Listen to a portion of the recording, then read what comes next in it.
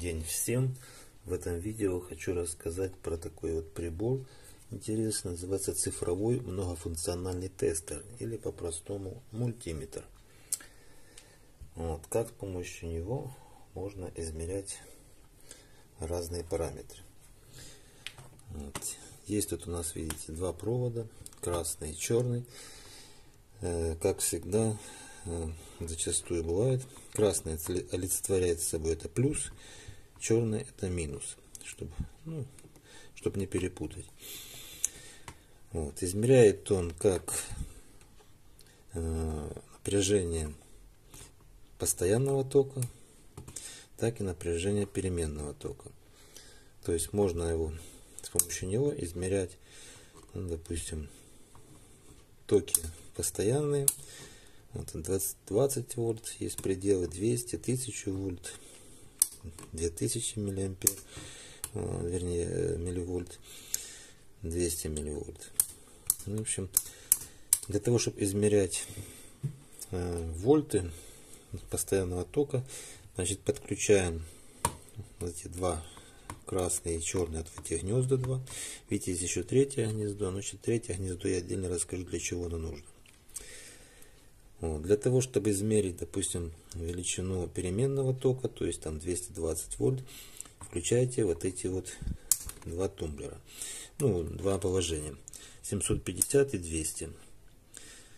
И можно этими двумя щупами подсоединиться в розетку и измерить напряжение в розетке. Вот. Для того, чтобы измерить этим мультиметром Э, ну, самое, ампераж, то есть силу тока, используются вот эти положения, вот эти белые точечки. Скажем так, чтобы было удобнее. Вот эти вот белые точечки 4. Вот. То же самое здесь и здесь подсоединяете красный и черный. Но если вы хотите измерять вот в этом положении и в этом положении, то нужно красный штекер шнур подсоединить сюда, в это гнездо. Для чего это делается? Потому что здесь уже идут более сильные токи до 10 ампер. И чтобы не испортить прибор, нужно включиться вот, вот в это гнездо.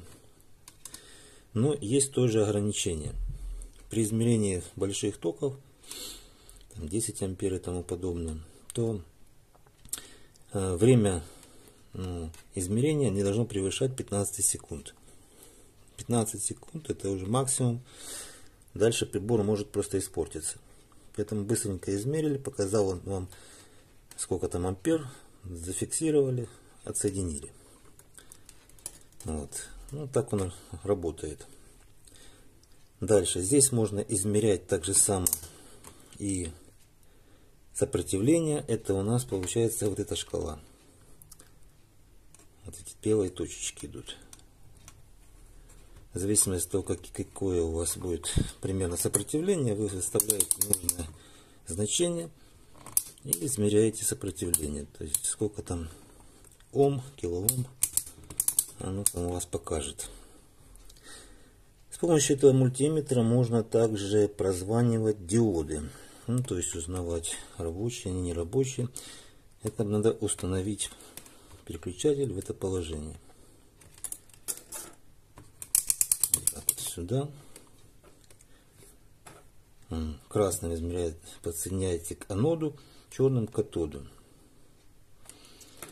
Так, ну что еще? Еще можно измерять транзисторы. Работоспособность транзисторов, ну там их показатели выяснять. Для этого устанавливаете переключатель в положении HFI вот сюда и транзистор подключаете вот в эти вот гнезда. Вот.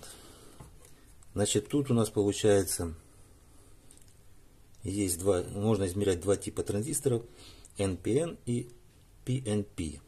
В зависимости от того, какой он из них, вот подключаете эмиттер либо сюда, в это гнездо, либо в это гнездо. Ну, соответственно, база коллектор это уже как будет тут удобно подсоединить. Ну и э, показывает вам его параметры. Ну и еще один такой интересный тут способ измерить, не измерить, а прозвонить, допустим, цепь, что чаще всего производится данным мультиметром, это узнать, допустим, э, не разорвана ли цепь электросети. Для этого устанавливаете переключатель. Вот, опять же, в это положение диод и такая вот, типа, звук издающий рисуночек. Вот сюда.